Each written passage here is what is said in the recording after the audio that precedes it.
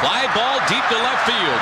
Way back, going, going. Goodbye, baseball.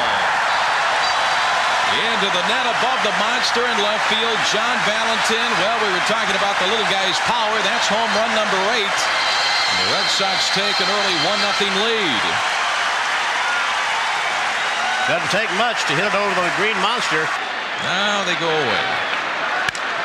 Well hit deep to left field. For John Valentin. His second home run into the net above the monster in left field. And the Red Sox take a 2 to 1 lead.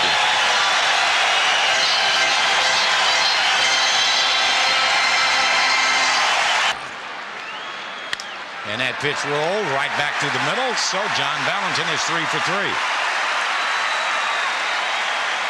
Well, at least he kept it in the ballpark. And that ball is belted, and that's way out of here. And Valentin has his third home run, and that is out on Lansdowne Avenue.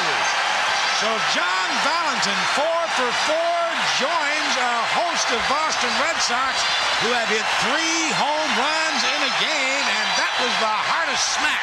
That was way out of here. And a slider that's hung right into the glove of Blowers into left field. And on his way for two is Valentin, and we'll wait and see how they score that. Blowers couldn't get the glove down. So John Valentin is five for five and represents the winning run now. And Mo Vaughn will be the hitter.